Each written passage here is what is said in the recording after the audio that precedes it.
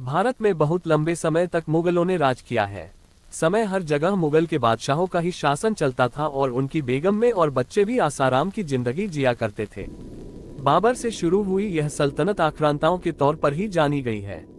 लेकिन इन सब के बीच दाराशिको एक ऐसा नाम है जिसे सुलझे हुए शख्स के रूप में पहचाना जाता है। वो शाहजहां के सबसे बड़े बेटे थे और मुगलिया इतिहास में उनका अहम किरदार माना जाता है। जटिल और बहुआयामी व्यक्तित्व के बादशाह दारा शिकोह की शादी मुगल इतिहास की सबसे महँगी शादी कही जाती है। आज हम आपको इसी के बारे में जानकारी देंगे।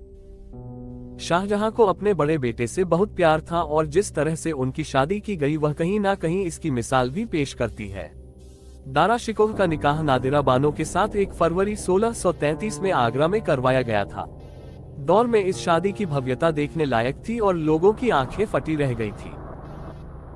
बादशाह शाहजहां गद्दी पर रहते हुए ही यह ऐलान कर चुके थे कि हिंदुस्तान की गद्दी पर अगला हकदारा शिकोह का होने वाला है। बादशाह के सबसे खास होने के चलते उस समय शहजादे को रोज खर्च के लिए एक हज़ार रूपए भी दिए जाते थे। उस जमाने में इस मुगलिया शादी में बत्तीस लाख रूपए खर्च किए गए थे। शाहजहां के साथ दारा की बहन ने जिनका नाम जहाँ आरा बेगम था, उन्होंने आधा खर्च उठाया था। उस समय उनकी बहन पर बेगम बादशाह के पद की ज़िम्मेदारी थी। इस शादी से जुड़े जो तथ्य इतिहासकारों द्वारा लिखे गए हैं, उसके मुताबिक निकाह के दौरान इतनी आतिशबाजी की गई थी कि रात में भी दिन जैसा नज़ारा दिखाई दे रहा था। दारा शिकोह अपने पिता के प्रिय थे और माँ मुमताज़ के जल्दी गुजर जाने की वजह से बड़ी बहन जहारा उन्हें माँ की तरह प्यार करती थी।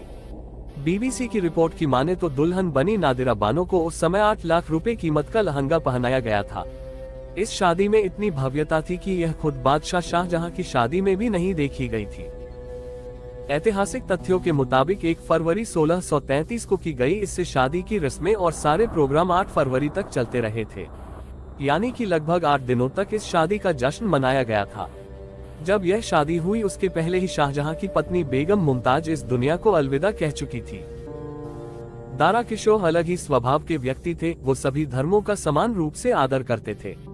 उन्होंने श्रीमद भगवद गीता और योग वशिष्ठ को फारसी भाषा में ट्रांसलेट भी करवाया था। जंग का अनुभव उन्हें भले ही नहीं था, लेकिन फिर भी शाहजहां चाहते थे कि वही उनकी गद्दी के उत्तराधिकारी बने।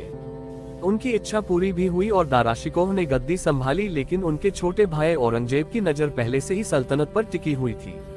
सत्ता के लालच में उन्होंने अपने भाई की हत्या कर दी और खुद गद्दी पर काबिज हो गए।